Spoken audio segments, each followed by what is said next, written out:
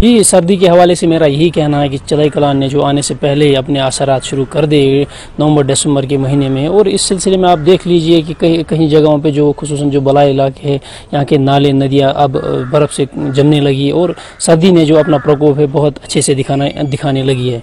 Change आती है, तब्दीली आती है तो आप देख लीजिए कि फिर सर्कमस्टेंसेस भी चेंज आते हैं। आप देख लीजिए, जैसा कि हमारे बेसिक नेसेसिटीज़ है, पानी को वही मान लीजिए। अब पानी के बारे में भी हमें बहुत सारी मुश्किलों का फिर सामना करना पड़ता है, क्योंकि जैसे कोरा लग जाता है तो हमारी जो पाइपलाइन है मेन पाइपलाइन है, या बिजली का जो मसला है, वो भी खड़ा हो जाता है। हमारे इदारे उनसे कि कम से कम मेहरबानी करके आप फ्रंट लाइन पर अपने वर्कर उसको बिठाइए, ताकि हमें कल को जाके या इन मुश्किल दिनों में इन मुश्किलों का सामना ना करना पड़े। अपने भाइयों से यही रहेगा कि कम से कम इस सर्दी में उन लोगों का ख्याल रखें जिनके पास अपने बदन को ढकने के लिए कपड़े नहीं, आप कम से कम उतना दूसरे लोगों के लिए कीजिए ताकि वो भी इस सर्दी से बच सके। वादी कश्मीर में लगातार खुश्क मौसम और सर्दी की शिद्दत में दिन ब दिन इजाफा देखने को मिल रहा है।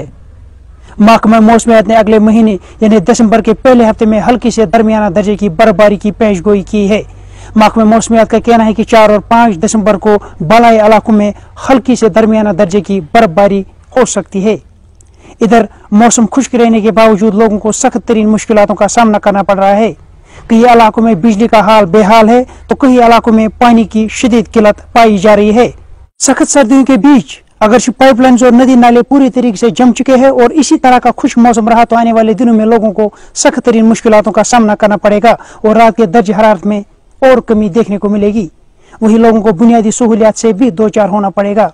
उम्मीद की जाती है कि इंतजामिया इन सर्दियों के आयाम में लोगों को बुनियादी सहूलियात बाहम रखे, ताकि इनको सर्दी के इन आयाम में किसी भी मुश्किल का सामना न करना पड़े।